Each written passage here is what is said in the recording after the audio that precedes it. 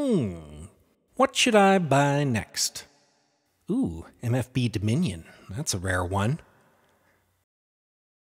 Ooh, Dreadbox. I've always wanted to go to Greece. But then there's this one, and this one, and this one. How do I decide? I know. I'll just get them all.